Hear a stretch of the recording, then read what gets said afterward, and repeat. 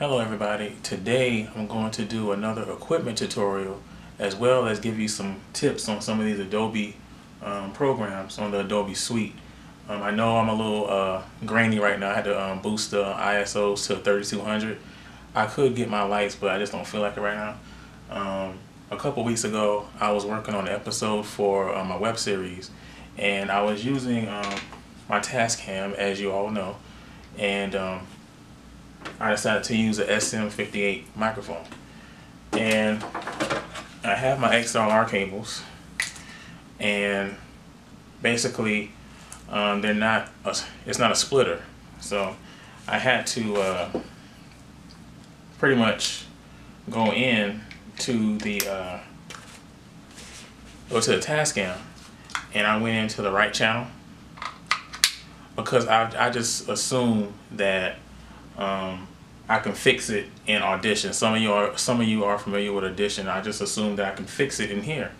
Um, so I'm going to actually show you like you know what you actually can do to fix this problem because the problem was that once I got in here of course it's only going to be on the right side so I'm going to show you some tips on um, on um, some things you can do into the Adobe Suite. Most of us who are, you know, in filmmaking, we, we use Audition for audio and we use uh, Premiere. Um, well, at least that's how I was, you know, taught in, in school, and some of you are still being taught that.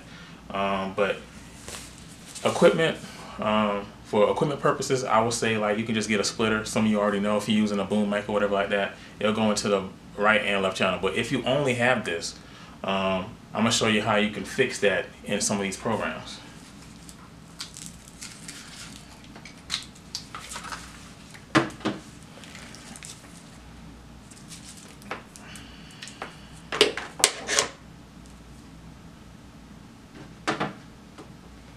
Alright, so I'm actually going to take the camera and I'm going to show this to you guys. Okay, Hopefully now. There we go.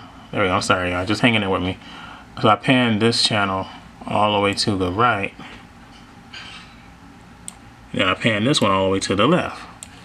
But still, they are both reading on the right side.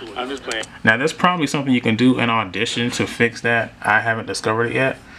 Um, but I tell you what I did do. I went into Premiere. This is Premiere. Alright, so here is the same exact file. Okay, I had to change the settings, y'all. Here's the same exact file. Putting it down here. Okay. As you can see, okay, this is, um, it's still playing on the right side. This is a true take too. Just, just on the right. All right, so in Premiere, there is an audio effect um, it's called fill left with right. See it? It's called fill left with right. You take it and then you drag it over here. Alright, so let's go into our editing editing tab. Uh, click on that. Now, here is, you know, our effects controls for that particular um, file. I just put fill left with fill right.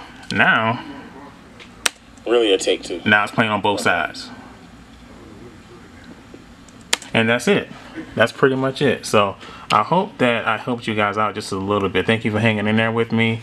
Uh, I'll talk to you guys later and have a blessed day.